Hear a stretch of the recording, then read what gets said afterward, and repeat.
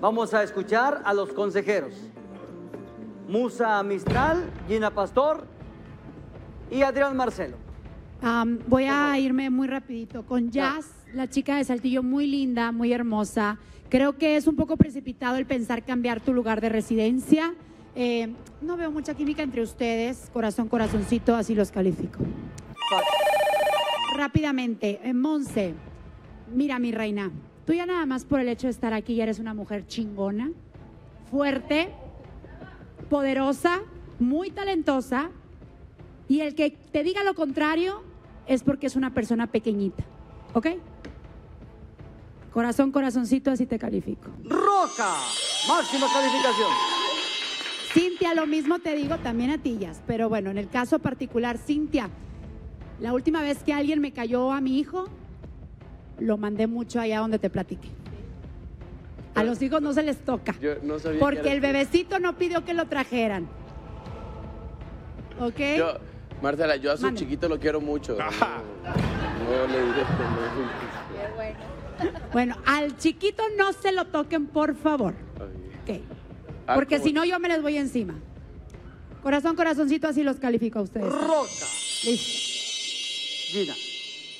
Yasmin, yo de verdad agradezco tu esfuerzo por venir desde Saltillo. Si la semana pasada te sentiste ofendida o lastimada por mí, te pido una, una disculpa. ¿Ok? De verdad, gracias, pero ya sabemos que los de Saltillo son así. No, no, Yasmin, de verdad agradezco la distancia que recorres para venir a este lugar. Te ves guapísima, te ves súper linda. Eh, veo que hay química entre ustedes y, y- y eso me gusta. No la suficiente para empezar con una relación, por eso corazón, corazoncito, así te califico. Media. Y la china, pues yo veo que con Brandon, como que este arroz ya se coció.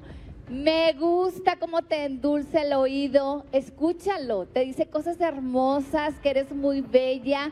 Y es que lo eres. Basta con que te veas a un espejo y no aceptes jamás, te lo voy a pedir, en tu vida, que nadie te ofenda, que nadie te humille, te sobaje. Eres una mujer y por el simple hecho de serlo, lo vales. Así que que sea la última vez que alguien te trata como te trató ese hombre que le contaste a Brandon. No lo permitas nunca más. Eres única, eres irrepetible y eres una mujer valiosa. Por la química que yo veo entre ustedes, corazón, corazoncito, así te califico. Roca, Y Cintia, pues la verdad es que el baile fue muy breve, no alcancé a percibir si sí, si no. Eres una chica muy linda, pero la verdad me dio flojera. Me dio así como huevita. qué pena, qué pena, corazón, corazoncito, así te jabón califico. chiquito. Ya agarramos confianza todos, ¿verdad? Ya. Muy bien. eh, ¿Por dónde empiezo? Eh, primero, reportar a Marcela que dijo chingona, me parece una falta de respeto. Hay, niño, niños, hay niños en el estudio y probablemente Ponchito nos esté viendo y ya tiene uso de razón. Eh, vamos a empezar. Yasmín Ana Karen, tienes tres nombres. O sea, te tardabas más en poner el nombre que en contestar el examen. Eso me llama la atención. Muy bien. Yasmín, eh, ah, eh, creo que la distancia, a pesar de que Saltillo está aquí a tiro de piedra o a un saltillo, eh, eh, pues, pues sí va a afectar y sobre todo por el ritmo de vida que tiene Brandon. Eh, su cita yo, bueno, mejor dicho, su vals, eh, te ves muy guapa, por cierto. Después, China. Hay un libro que se llama Las ventajas de ser invisible, China. Y es una película también. Y hay una frase que dice un maestro, se la dice al protagonista, le dice, uno tiene el amor que cree merecerse. Escucha bien, uno tiene el amor que cree merecerse. Entonces, yo te admiro, tú vienes desde abajo, podríamos decir la China de abajo. Y, eso, eso en una mujer siempre lo voy a aplaudir. De acuerdo con mis compañeras, nunca dejes que un hombre ponga una semilla en tu mente de lo que vales o lo que crees que vales. vamos entonces a calificar. Yo creo que ustedes tienen una historia que va más allá de la televisión. Hay algo que ustedes tienen y ustedes platican y la forma en la que se ven que, que traspasa la televisión y eso es innegable. Yo les doy esta calificación, Roca. Rosca, máxima Cintia, calificación. Brandon, cuando tú formalizas con una mujer que tiene un hijo y te casas, por ejemplo, pues te puedes casar por bienes mancomunados.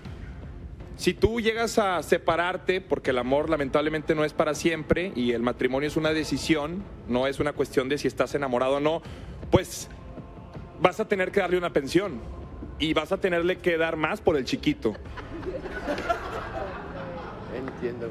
No sé si me estoy explicando. Tú Sí, vas a claro, tener que dar más dinero porque ella tiene un hijo. Entonces, yo creo que ella también eh, ya no te ve como para noviar. Toma en cuenta eso. Me gusta también que ella pues se ha mantenido en su postura y desde el primer programa aquí está. Así que Cintia, corazón, corazoncito, yo te doy un fax. Calificación media. ¿Es todo? Todo. Muy bien. Brandon. Muchas gracias, señor Chavana.